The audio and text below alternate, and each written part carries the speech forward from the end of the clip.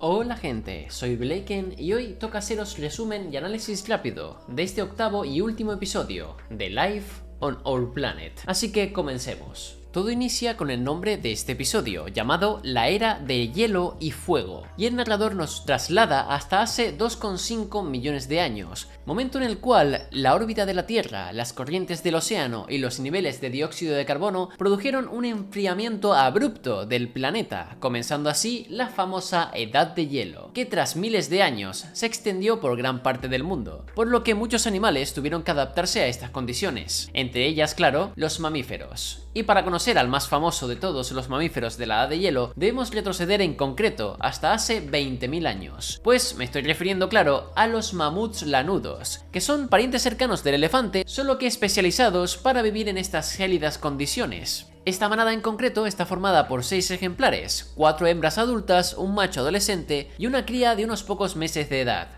que durante su migración están pasando cerca de una cueva en la que otra manada muy diferente aguardaba este momento. Estos son leones de las cavernas, uno de los mayores félidos que ha existido, siendo un 10% más grandes que cualquier león africano actual. Y además este grupo tiene la particularidad de ser de color blanco, algo que no es para nada común en esta especie. Pero de eso último hablaré en la parte de análisis, pues estas bestias pardas de más de 300 kilos estaban especializadas en abatir grandes y pesadas presas. Es entonces cuando los leones tratan de poner nerviosos a los mamuts cortándoles el paso. Y esto es un serio problema ya que todos estos grandes animales están cansados por el largo viaje de migración, cosa que es aprovechada por los leones, que pese a las advertencias de la matriarca o líder de los mamuts, los leones siempre se acaban reagrupando. Es en este momento cuando uno de ellos se da cuenta de que el macho mamut adolescente estaba nervioso y se había alejado un poco de la manada. Así que con un rápido movimiento, el felino rodea la manada y salta sobre el joven mamut, haciéndolo perder el equilibrio. A lo que pronto los demás leones se unen a él para inmovilizar a la presa y darle muerte. A lo que el resto de la manada de mamuts debe afrontar un duro dilema, pues los leones parecen determinados a conseguir comida y si la manada no tiene cuidado, podrían dejar desprotegida a la cría más joven. Así que muy a su pesar, la matriarca decide que deben continuar con su migración y abandonar a su suerte al adolescente. Y bueno, ahora viajamos hasta hace unos 16.000 años, momento en el cual, según el narrador, la órbita de la Tierra volvió a cambiar, causando así que el hielo comenzara a derretirse, formando así un colosal lago glacial, que a su vez formó una especie de presa gigante natural contenida por un enorme muro de hielo de casi mil metros de altura lo cual tuvo que ser sin duda algo digno de presenciar, ya que al lado de esta increíble estructura natural, los enormes mamuts parecían hormigas. Pero claro, por grande y alto que sea, sigue siendo hielo, así que con las temperaturas cada vez más altas, este se fue debilitando hasta que, finalmente, ocurrió lo inevitable.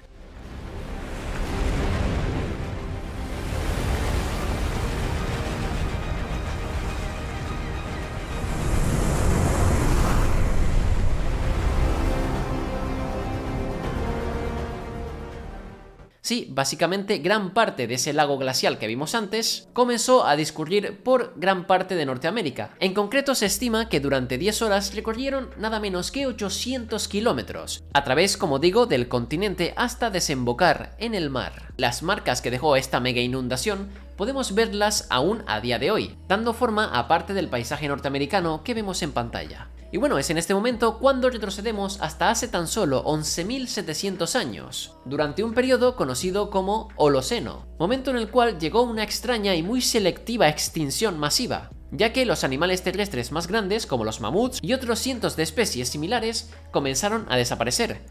De hecho, se estima que el 70% de esta megafauna se extinguió.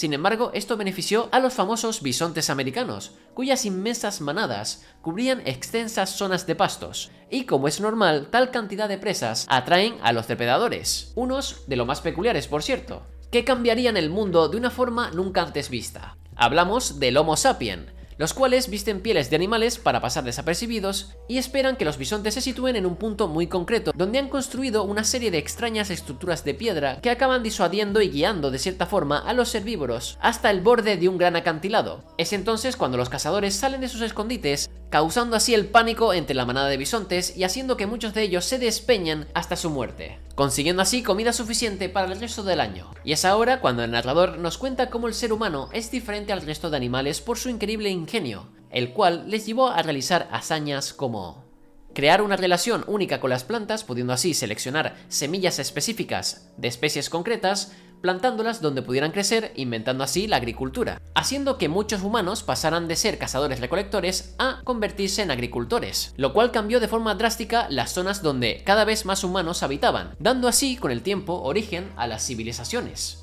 que también con el paso de los años y años y años fueron cambiando y mejorando. Y es así como los humanos cambiamos de forma drástica el entorno donde vivíamos, como si de cierta forma pudiéramos nosotros controlar la naturaleza y no al revés, donde los seres humanos creamos máquinas que sirven para transportarnos, para ayudarnos en nuestro día a día e incluso máquinas que construyen otras máquinas. Y en general, como digo, el humano ha logrado hazañas impresionantes. Sin embargo, también hay un lado malo en esto, pues con el tiempo cada vez más zonas salvajes del mundo se pierden, ya que alimentar a toda la población humana existente del planeta requiere más de la mitad de toda la Tierra habitable, las cuales están ocupadas o por cultivos o por granjas. También el dióxido de carbono que producen nuestras máquinas está calentando cada vez más la atmósfera del planeta, causando así el famoso calentamiento global, lo que conlleva a cambios climáticos extremos y fuertes incendios. Por no mencionar que la sobrepesca daña de forma severa el equilibrio natural del océano. De hecho, es más, se calcula que en los últimos 50 años el 70% de la vida salvaje ha sido erradicada por el ser humano. Básicamente nosotros como especie estamos causando una sexta extinción masiva. Pero hay algo que podemos hacer ante esta inminente catástrofe. Pues somos, como dice el narrador, la única criatura de este planeta en entender todo esto que estamos hablando. Y también tenemos la capacidad de solucionar los problemas que hemos causado. De igual forma, lo que nos ha enseñado la historia de la evolución es que sea lo que sea lo que ocurra en el futuro, la vida siempre se abre camino siendo esta una referencia clarísima a la frase del personaje Ian Malcolm de la película Jurassic Park y mostrando así una recreación de la ciudad de Londres completamente inundada y cubierta de plantas, indicando así que el ser humano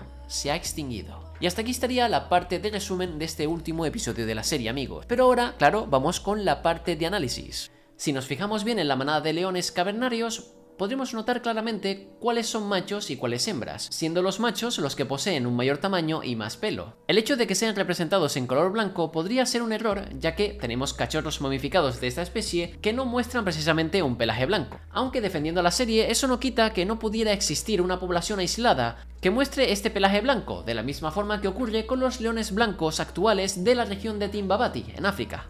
Hablando de la escena de caza, para algunos se puede sentir muy forzada, pero básicamente si miras la escena con cuidado se puede notar como la manada de mamuts está muy cansada por tan largo viaje migratorio, en especial ese ejemplar adolescente, que de hecho cuando ataca a los leones está muy nervioso, tal vez porque está herido o enfermo, y entra en pánico, momento que es aprovechado por este gran león, pues eso es lo que hacían estos animales a fin de cuentas, derribar criaturas enormes. Tras ello vemos como el mamut adolescente no tiene fuerzas para defenderse, y es luego cuando vemos que a pesar de lo cansada que debe estar esta manada tras la migración, tratan de salvar a su compañero caído, sin embargo, esto solo pondría en peligro a la cría más joven. Y bueno, decir que el final en el cual trata de hacer clic en el cerebro y concienciar al público, y así que pueda aportar su granito de arena a proteger el planeta que poco a poco estamos destruyendo, me ha parecido bastante bien. Al igual que esa referencia a Jurassic Park, por supuesto. Una vez acabado este vídeo, seguramente mañana se venga una super recopilación para hacer así como una especie de resumen y análisis de la serie completa. Así que muchísimas gracias a todos aquellos que han estado aquí día tras día apoyando los estrenos del canal. La verdad significa mucho para mí. Y bueno, aparte de lo que acabo de decir, no sé si haré algún vídeo más de esta serie para el canal, pero igual alguna sorpresa adicional os doy. Igual no dudéis en decirme por comentarios qué otra serie, película o videojuego queréis que reseñe, resuma o analice. Dicho esto, nos vemos en el siguiente vídeo con más y mejor. Hasta la próxima.